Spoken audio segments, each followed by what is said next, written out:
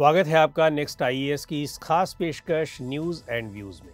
आज के इस एपिसोड में हम बात करेंगे टैक्टिकल न्यूक्लियर वेपन्स की और ये भी कि ये स्ट्रेटजिक न्यूक्लियर वेपन्स से किस तरह अलग हैं और इन्हें क्यों डिप्लॉय किया जाता है। अभी हाल ही में रूस के प्रेसिडेंट व्लादिमीर पुतिन ने पड़ोसी और करीबी देश बेलारूस में टैक्टिकल न्यूक्लियर वेपन्स तैनात करने की घोषणा की है। टैक्टिकल न्यूक्लियर वेपन्स में वे हथियार आते हैं, जिनमें अपेक्षाकृत छोटे वॉरहेड होते हैं और जो छोटे इलाके में लिमिटेड स्ट्राइक्स के लिए इस्तेमाल होते हैं। जबकि दूसरी ओर स्ट्रेटजिक न्यूक्लियर वेपन्स से आशय उन हथियारों से है जो बड़े पैमाने पर दुश्मन देश को नुकसान पहुँचाने के लिए इस्तेमाल होते हैं। पूरे के पूरे शहरों को तबाह करने की क्षमता रखने वाले स्ट्रेटजिक न्यूक्लियर वेपन्स की तुलना में टैक्टिकल न्यूक्लियर वेपन्स कम दूरी तक मार करने वाले और कम नुकसान पहुँचाने वाले होते हैं। रूस की योजना के मुताबिक बेलारूस में न्यूक्लियर वेपन्स तैनात करने के लिए ज़रूरी स्टोरेज फैसिलिटीज़ का कंस्ट्रक्शन 1 जुलाई तक पूरा कर लिया जाएगा। हालाँकि रूस की ओर से ये जानकारी नहीं दी गई है कि न्यूक्लियर वेपन्स की तैनाती कब से की जाएगी और कितने न्यूक्लियर वेपन्स तैनात किए जाएँगे।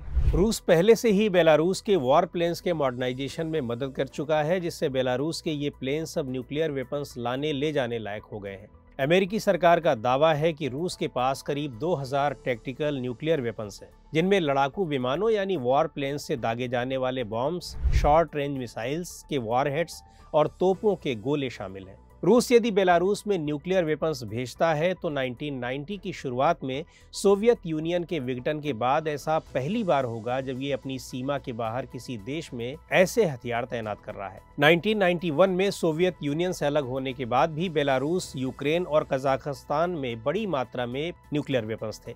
लेकिन एक समझौते के तहत अगले कुछ सालों में इन हथियारों को रूस भेज दिया गया था।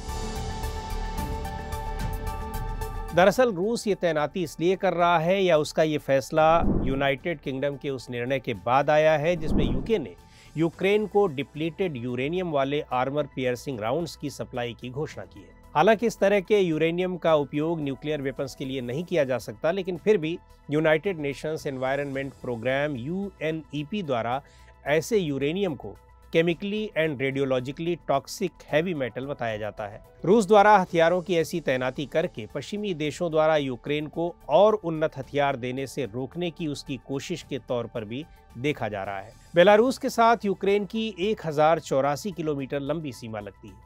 ऐसे में इस तरह के हथियारों की तैनाती से रूस द्वारा यूक्रेन पर हमला करने में आसानी होगी और हमले में तेज़ी लाई जा सकेगी।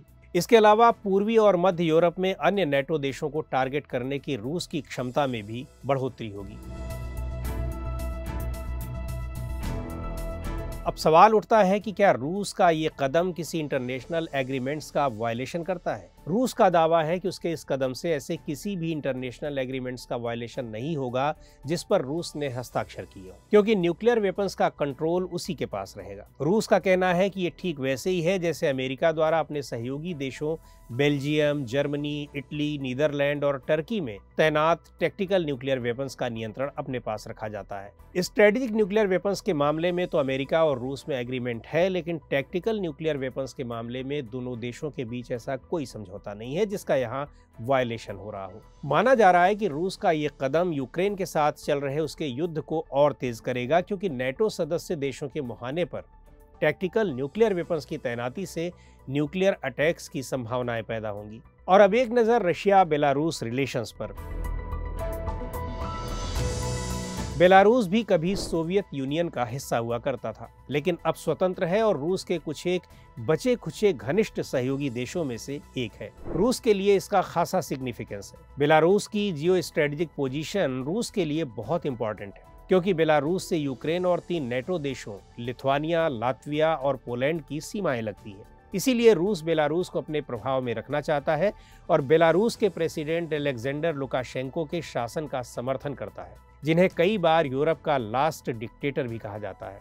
रूस यूक्रेन वॉर में रूस बेलारूस का इस्तेमाल फॉरवर्ड बेस के रूप में कर रहा है। यानी रूसी सैनिकों को भेजने और हमले करने के लिए बेलारूस का इस्तेमाल लॉन्च पैड के रूप में किया जा रहा है। जब से वॉर शुरू हुआ है, तब से Belarus United Nations General Assembly में आने वाले रेजोल्यूशंस पर रूस के पक्ष में वोटिंग करता रहा है। इसके अलावा बेलारूस, रूस की लीडरशिप में चल रहे military alliance Collective Security Treaty Organisation CSTO का भी मेंबर है।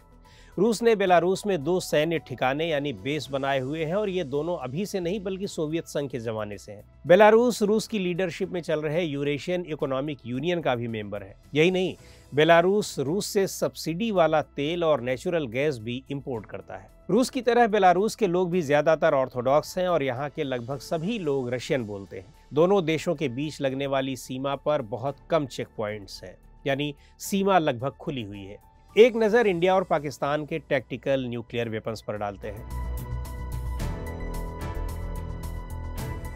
नस्त्र मिसाइल सिस्टम के रूप में पाकिस्तान के पास टैक्टिकल न्यूक्लियर हमलों की क्षमता है। पाकिस्तान की ये मिसाइलें उसे भारतीय सुरक्षा बलों पर शुरुआती और प्रभावी हमले करने में सक्षम बनाती। है हालाँकि भारत के पास भी 150 से 300 किलोमीटर रेंज वाले प्रहार मिसाइल के रूप में ऐसी टैक्टिकल न्यूक्लियर कैपेबिलिटी मौजूद है, लेकिन भारत ने ऐसे टैक्टिकल मुकाबलों से अपने को दूर रखा है और अपनी उसी नीति पर कायम है जिसके तहत माना जाता है कि किसी भी तरह के न्यूक्लियर वेपन्स का इस्तेमाल चाहे वो टैक्टिकल हो या फिर स्ट्रेटजिक वो बड़े पैमाने पर जवाबी कार्रवाई को उकसाएगा। तो आज के इस एपिसोड में इतना ही। अगले एपिसोड में फिर मिलेंगे एक नए टॉपिक के साथ।